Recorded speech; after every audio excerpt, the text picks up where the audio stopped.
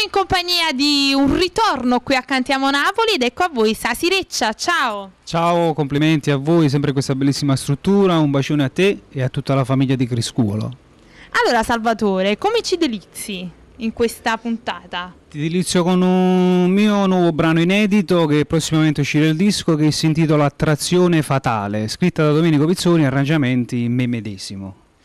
E salutiamo con un forte bacio l'autore del brano. Vuoi dire qualcosa su questo brano?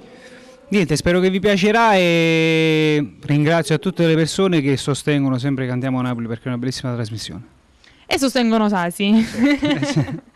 allora, non ci resta altro che salutare il nostro pubblico perché noi siamo quelli di Cantiamo, Cantiamo Napoli. Napoli.